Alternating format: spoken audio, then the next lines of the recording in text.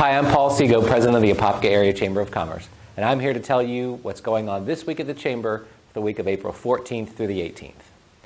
There's not going to be any singing, no dancing, I don't have any crazy dreams to act out for you today, just the facts. I hope you're not too disappointed. First, on Monday, April 14th, we have a big deal. There's a ribbon cutting for the opening of the brand new Hobby Lobby here in Apopka. Uh, I know you're super excited because you can get all your uh, arts and crafts needs and everything else. I think my wife is, uh, is already camped out for the opening of Hobby Lobby. So join us Monday at 9 a.m. for their ribbon cutting and grand opening. On Tuesday, April the 15th, it's our second session of Leadership Apopka.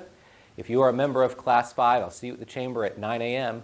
And if you're not, you should really think about joining Class 6 when it starts up next year. It's an exciting way to get more involved in the community and learn more about Apopka and Northwest Orange County. On Wednesday, April 16th, first we have our Ambassador Committee meeting at 9 a.m. The ambassadors are the hosts and greeters at every chamber event. Uh, you see them in those really cool red jackets. Uh, so their meeting is at 9. If you are interested in becoming an ambassador, if you would like to help people get connected to the chamber, uh, make introductions, act as a greeter and a host uh, at chamber functions, come out to ribbon cuttings, and, and just be a leader uh, in the chamber among volunteers, please consider joining the ambassadors. Uh, log on to our website at www.apopkachamber.org for more details. Also on Wednesday the 16th, we have another ribbon cutting for pediatric health care. Uh, this time it's at 1 o'clock in the afternoon, so join us there to welcome them to the Apopka community. On Thursday the 17th, we have our Education Committee. Uh, the Education Committee are the liaisons between the Chamber and the schools.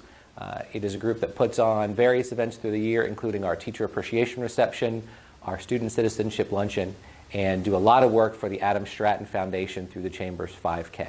Uh, that meeting is at 3.30 on Thursday, uh, so join us there. That's it for this week. Please log on to our website at www.apopkachamber.org. Uh, you can join us on all your favorite social media sites to learn more about what's going on at the Chamber. We are on Facebook, Instagram, Flickr, Twitter, Tumblr, um, all the big ones. Uh, so make sure you log on and join us on those. Follow us, like us, friend us, uh, so to keep up with what's going on at the Chamber. Uh, that's it for the, this week at the Chamber, and I've been Paul. We'll see you next week.